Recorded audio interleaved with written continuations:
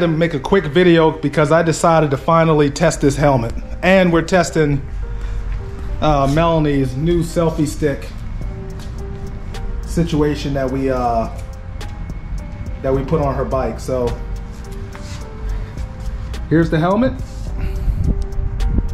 I don't even know if you can see it because it's so bright outside, but uh, I got my scene on there and this will be about the second or third time that I actually have worn it, but I'm actually gonna ride in it versus just putting it on and testing it. So I got uh, my camera and stuff, so on the Busa, so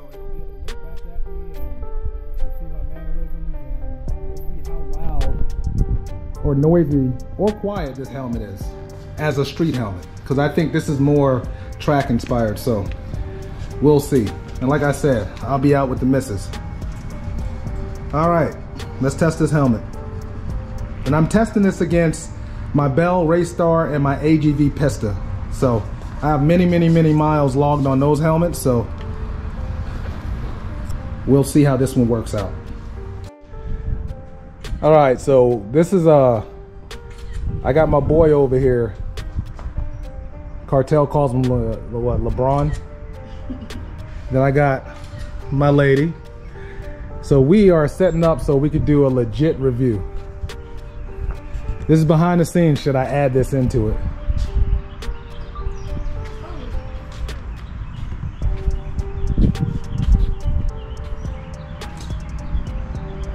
And the backdrop for this is going to be Sophia, my wife's S1000. And um, we even tried to mimic a wind tunnel, but instead we will be using a turbo fan.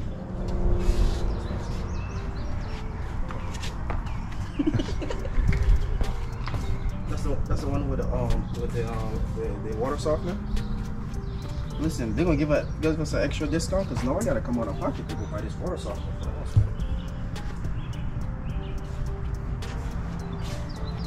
So I chose the Bell Race. Of course, this is about the RS10 or R10. We got the Pista and then the KYT. And so uh, this is supposed to be a carbon fiber helmet. All of these are carbon fiber. So we will get into the nitty gritty. We decided to do it outside with some cigars and beers because uh, why not? And this is gonna be a no BS um, review. So enjoy.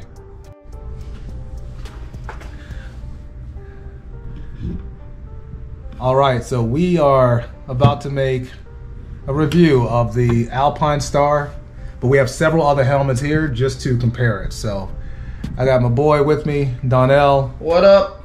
and um, we have been discussing these helmets, the pros, the cons, and the differences, and we're gonna try our best to kind of show you guys. Really, this is all about the Alpine Star R10, but again, so let's get to it. Move the camera in closer so we got some. That's the most light we have, right? Yeah. Something like that. All right, so the first thing we're gonna discuss is Vision. vision. Now, you'll probably see in the video, whether I put it in the beginning or the end, I'm not sure how I'm gonna edit this yet, but um, Donnell actually got on one of the bikes and he wore each individual helmet. And so talk about your vision. We can start with the Alpine Star. Uh, Alpine Star.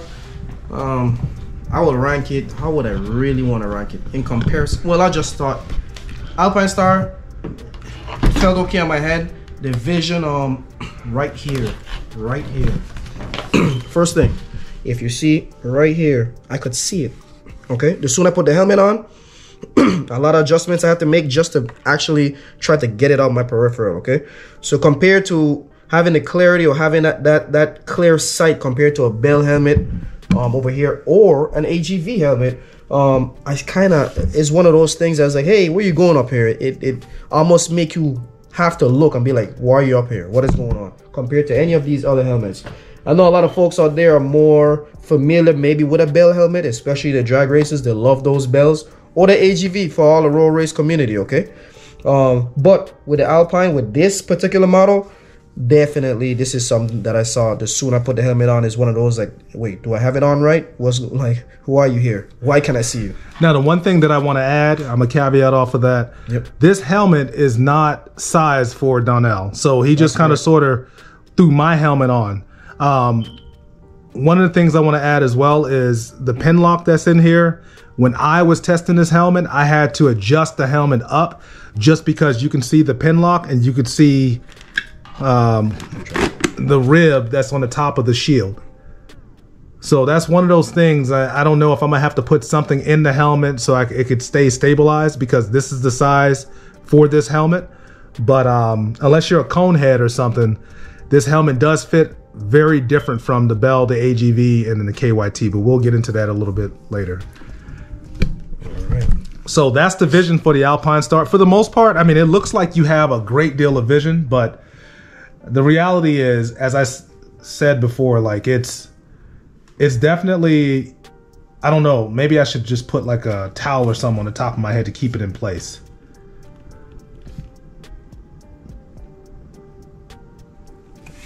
But it's not. How do I put it? It's not that bad. It's, it- it's not that bad. All right. My cap. And it's crazy too because it looks like you have all of this vision, but then some of the other helmets, I feel like look at the this the side, the vision of the KYT, like that is huge. Yeah, absolutely. absolutely. You know, Yeah. that's huge compared to that. So, at any rate, we'll get into the fitment. So, how did it how did it fit compared to the others? Um, like you said, maybe it's not size for me. Um, oh, fitment. I know how it fit on me. Fitment. For me, for you know, I'm a smaller size guy. Um, the KYT fit me the best. Yeah. For it being a, a, a, a size that's not correct, the KYT actually fit the best. Um, then the Bell and the AGV. Like like the construction in that, especially the top like you was talking about. That yeah. Now I think I think with the Alpine Star, if you which is kind of difficult to see, but if you look inside, look how thin that padding is on the top of the head. Oh yeah. That's extremely thin. Yep. Now all of the padding, especially the cheek pads, everything fits, but unless you again, I alluded to being a cone head, Yeah. maybe that's the reason my head is not like pointy at the top or something. Right. So that's why it's moving around. So I had to adjust it as I was in the tuck and crouching when I was testing it.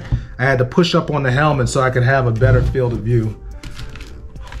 Well, let me see. I don't think that they'll be able to see it, but if you if you have an R10 or you're looking into it, I know it's difficult to see, but if you look in there, let me see. I need some lighting. There we go. So you can barely. There you go. You can kind of see it. If you look in there, it's the material in there is extremely thin. It's very very thin. Now, look at this, and then we'll compare that to how thick the bell. The bell has some padding. You can see that, Donnell? Yeah, I can see it. The bell has some padding in there. And this does not move while it's on my head, even in while tucking. Even my AGV Pista, if you look in there, it has it's a worn helmet, but the padding in there is pretty thick. So it can sit on top of your head and it won't move. And the KYT, even though this is like I'm not gonna say I hate the helmet because it's noisy, but this definitely will probably be a track. But even this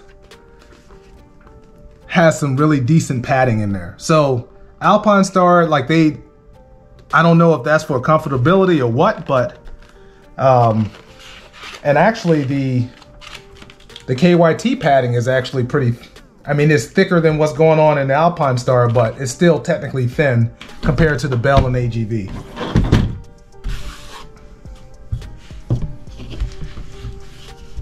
Now I'm trying to stay on task, so I got the list on my phone of what I want to talk about. Okay, so now we're gonna look into the construction and protection. So one of the things that I dislike about the the uh, Alpine Star is I was telling Donnell earlier. So if you look at the cheek pads, most all these other helmets have the cheek pad secured right here by some form of a snap or something, but on this, it just comes straight apart. So you can see how you can just pull it apart. It has snaps uh, at several locations on the cheek pad, but I don't know why. I don't know if this is like for the emergency pull or what, but there's just nothing here, which I find to be like crazy because the price point for this helmet is pretty, it's pretty expensive. So, well, I have more expensive helmets, so I guess it's really not that expensive, but um, that's one of the things that I dislike. The vision and the noise. And then it just seems like in some ways that the helmet, they did a lot of things right and then they got a couple of things wrong. Uh, the other thing would be, so when you get the helmet, you have this like aerodynamic, I don't know what is a chin protector deal that goes right here. I took it off and swapped it for this uh, chin skirt. And I'm assuming that it helps with noise. But that's just my point of view with it. If you look at something like the bell, the bell has snaps. You can't, it's secure. You see what I mean? The bell is like that. The the AGV is like that. Everything is secured. Even the KYT is secured at the top with snaps. So I'm not sure why Alpine Star chose not to, why they chose not to secure it that way, but it is what it is. Now, what I will say, uh, the pro with the Alpine Star is airflow. Would you agree? Yeah. yeah. I mean, you can't. It, it, yeah, you're not gonna get hot in that. Um. Well, let me just put it to the middle here. Work with us. Work with us. I'm hoping that this helps one of y'all riders that because I've been getting a lot of questions and stuff over this uh, Alpine Star, so I figured I would make something for it. But um, so like you have the vents here, you know they open and close. So you got the vents right here on the lower part of the helmet, and then you have uh, one up top, which I felt a lot of wind depending like up around my eyes as well. So and that's probably why because if you look there's a bunch of uh like vents up here at the top of the forehead so i'm assuming that's why i felt all of that air i did attempt to close this just to see while i was riding just to see because this helmet isn't as bad as the kyt the kyt literally like there's that's that's probably the helmet with the most airflow but as it pertains to the this Alpine Star, I think they probably did a good mixture between track and street. Now, you'll see in the video, again, I don't know if I'm gonna put it at the beginning or the end. My partner in crime had our turbofan in his face. and we were trying we yeah. were trying to act like that was a tunnel, right? Yep. Like a wind tunnel, yep. but it didn't work itself out that way. But we made it happen so he could see what was the loudest. And so how does the Alpine Star compare to the rest of them? Well, the Alpine Star, well, the, let's start here. The KYT by far has been the loudest, okay? Mm-hmm. Once again, yes, airflow, there's a lot of air getting in there. If you're someone that might have some eye issues like myself, okay? Um, be mindful, um, okay, or, or do your research before just buying a helmet because there is a lot of wind flow if you forget or leave one of these vents open on top all the air is gonna come out dry your eyes out you're gonna be kind of miserable all right you have to put in refresh tears or something to get yourself back on, on task um following that then we have the alpine okay? Now for those is is going to be summertime soon. Those that might be out there you get from stoplight to stoplight this beautiful helmet right here i promise you you're not going to be as hot as whatever you might have been using before if this is the route that you choose to go all right? This thing gives you plenty of air as well and you know you could close your vents off if you like, um, and that'd be a big help. But for those that want some airflow, you're feeling a little hot, you're not going as fast as you want to, or you wait to go fast and it's still hot outside. This is the perfect thing, okay? Hey, once again, this is a beautiful helmet. There's a lot of air coming in. They designed that to keep you cool, okay, on these hot days. It's funny because I thought these were like some form of event, but I don't know what they do. Cause I didn't feel anything like on my like I don't know what they do. Yeah. Um, but yeah, I Well, I would say if if anything, all right, I'm not. Listen, I'm not no scientist, okay? I did not design this helmet, but I would think when the air comes in, this kind of help push it out instead of just keeping it here and probably fogging it up. So, because right here you could you could feel it and see it, so the air will be able to come out and go around your helmet into these little side diffusers. Okay, maybe they know they was doing. Shout out to Alpine, which is crazy because this thing is not even really secure. it's not even attached to anything. It's Yeah. just what is that supposed to be aerodynamics? Yeah, I would say for for side air, keeping you stable. No. I don't know. I'm not a helmologist. one of these um, designers, let us know, okay? You Yeah. can send us some helmets and we try them out for you. Um, but yeah, so when I tested the the uh, the Alpine Star, for me, I think the loudest helmet here, like Donnell said, is that KYT. I mean, your eyes are gonna water. I mean, if you like listening to music like me while you're riding, you're definitely you better have some really well placed speakers because that thing is loud. I want to say these two are probably the Bell is probably one of the quietest. I would say, and then goes the AGV, yeah. then the Alpine Star, and then the KYT. Um, I don't know, like I, I don't wear this helmet a lot, but this is probably my favorite helmet out of all of them. Well, I mean, well, we technically have a lot of helmets. what to say? we got a lot of helmets and gear and stuff, but um but yeah, so now we can get into oh yeah, music. Music. So how did I hook this stuff up? How is it more difficult or easy Let me get to music? So with the Alpine Star, the one cool thing that they came up they came up with was like uh I guess I would have to pull I don't want to take the helmet apart, but if and it's hard to see. So what I'm gonna do is just, I'll just pull it so you can see it. So if you look back there, behind this cheesy looking suede thing, they actually have a place, indentations in the helmet where you can add your speakers. And when you turn this thing up to max volume, you'll damn near go deaf. So I, I feel like if you're someone who listens to music and can't function without music like me, um, okay, yeah, that's not easy to push back in, but uh, that was the other thing. I, I hated when I took this helmet apart to put it back together. Um, I thought it could be easier, but all good. So yeah, the speakers for this in this helmet was pretty pretty decent because they have indentations. For this, I want to say they had. Let me see. Where's my speakers? Yeah, they. So the bell has some indentations for it as well. Now, the KYT, I want to say. Yeah, they even have holes in there, so they have a place for you to put your speakers also. So you can see the little holes. I don't know if you can catch it with the camera, but Yeah, got it. yeah, you can kind of see the speakers there. The worst helmet here for street riding, though, for music, is the stupid doggone Pista. Because you can see my ghetto-ness. I had to cut holes into the side so I can hear the music better. I know that's ghetto. You don't want to chop up a you know an eighteen hundred, two thousand dollar helmet, but I had to because I couldn't hear the music. I didn't like it. So, and I'm sure other people do the same thing.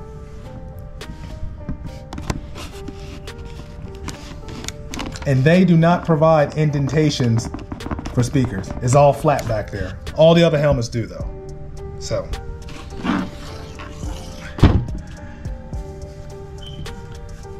Now let's talk about what's next on our list. Wait. Oh, the shield lock. Shield- We'll get weight next. Yeah. Shield lock. So it takes some getting used to if you have several different helmets. I will say the Alpine Star, it does take getting used to because you have this little locking mechanism down here. So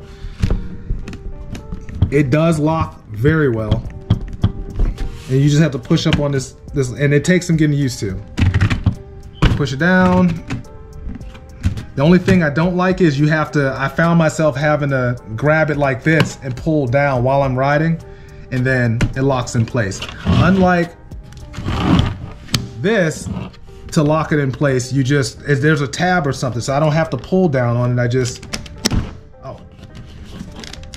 Oh. All right, Bell, that's about to be a con. but when you're riding, you know, it's the same thing. You just kind of pull up on it and you're good to go. This, you got to push up and then, you know, so I found that to be kind of different. The easiest helmets to open would probably be the KYT because even though this thing is, is, is expensive, all it has is just a little tab. It's the easiest. Well, I can't do it one hand, but and you just open it up and it's good.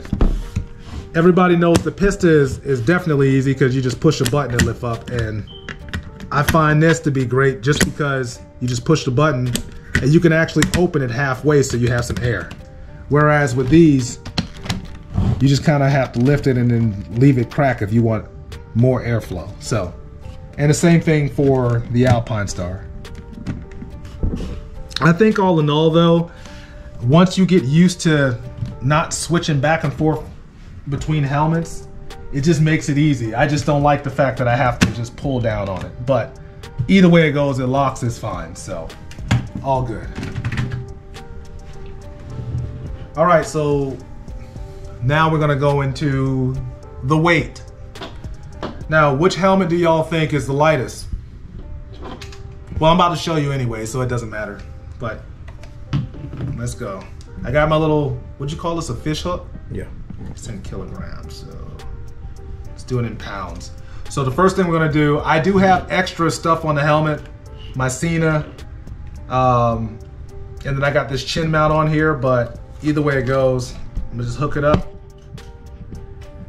and then we can see. So what does that say? I don't know, I can't see it. Let me get close. All right, so we at What's that, three pounds? 3.58. This is on the Alpine. 3.58? Yep. Okay. So I can tell you holding it in my hand. I mean, it's not terribly light. I wouldn't say it's heavy either. It's just, I don't know. Let's see. The bell does feel lighter, but let's see what the scale says. Maybe it's not. We're right at the same thing. 3.58. Here we go. What?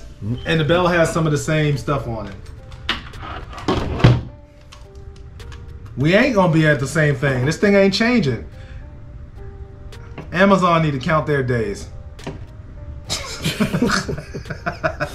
well, we're gonna try it again. Okay. Okay. I'm gonna just turn it off and turn it on. Okay, it's Yep. zeroed out. Yep.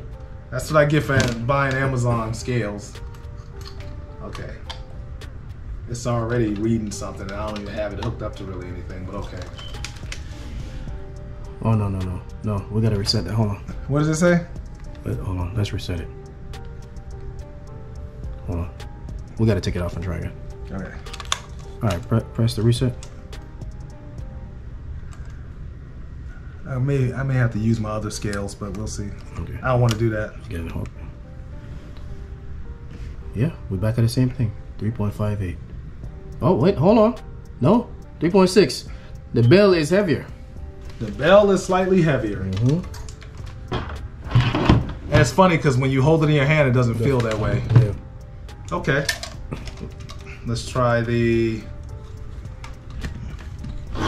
Now the pistol. This is gonna. I'm not even gonna bother weighing this just because I got all types of mounts. Like this feels like I know this is heavier. KYT feels lighter though. Yeah. Okay. We're gonna try this. Let's see if it actually- have to turn it noise.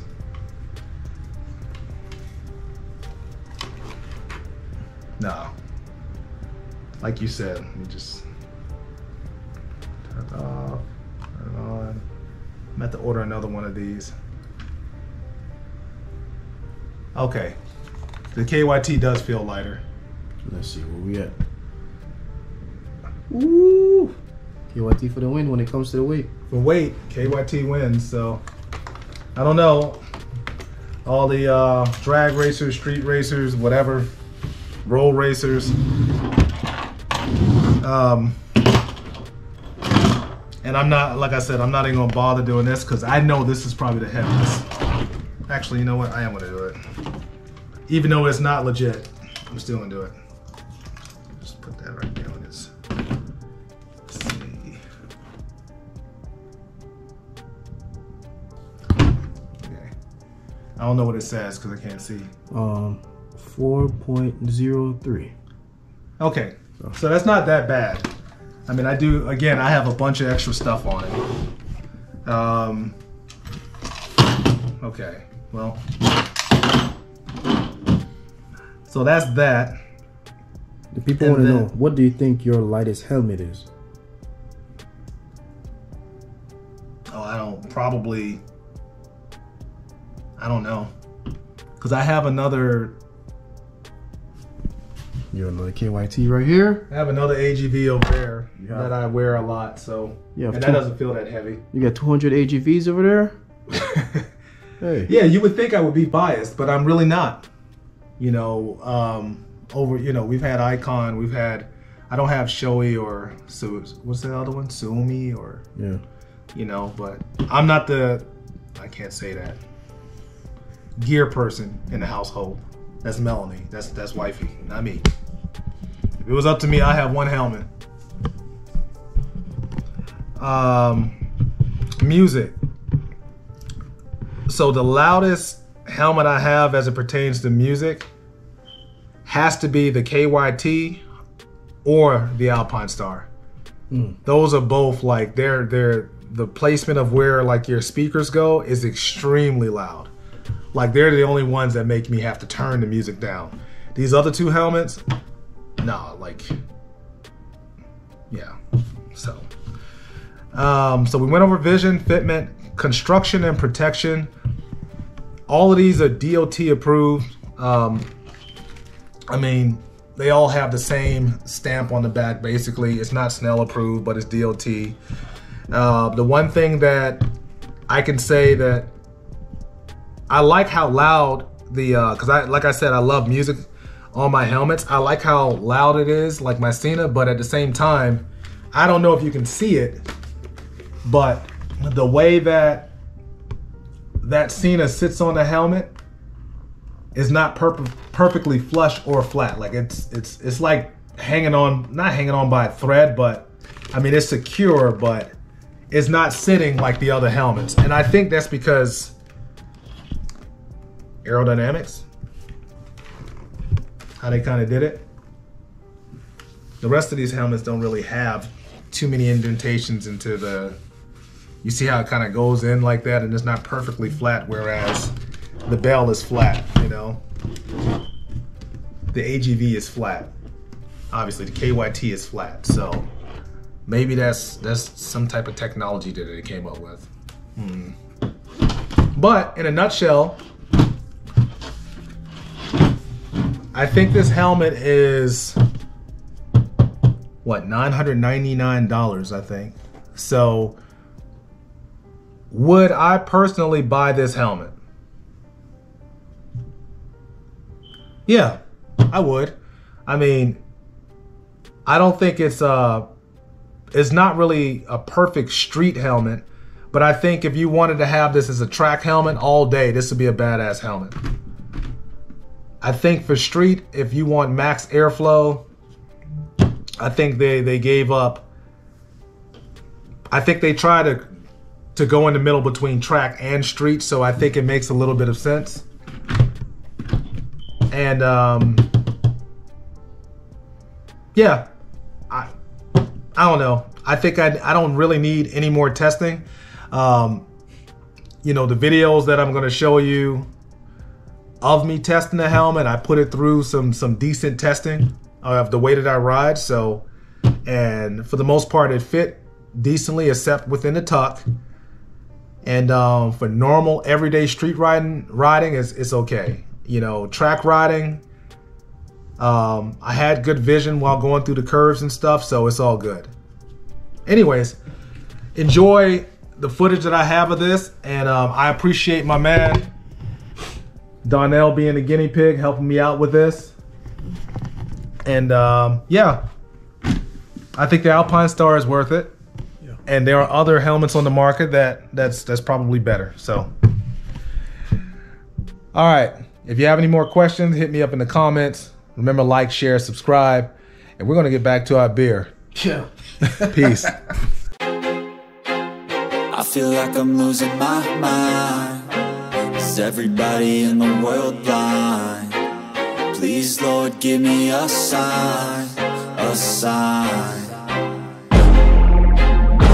Feel like I'm losing my mind. Is everybody in the world blind? Please, Lord, give me a sign, a sign. I wanna be the greatest. Everybody on the fake shit I look around and feel like everybody is the fakest. I make this every day and I'm impatient. Hoping one day I blow up from the basement. Statement, the top is so vacant. I don't hear shit that I think is amazing. Waiting for my day when I'm playing. Sold out shows for a thousand faces. Hey, give me that crown. Get in my way and to be put down. It ain't your place, all this my town. If I want that shit then I'll get it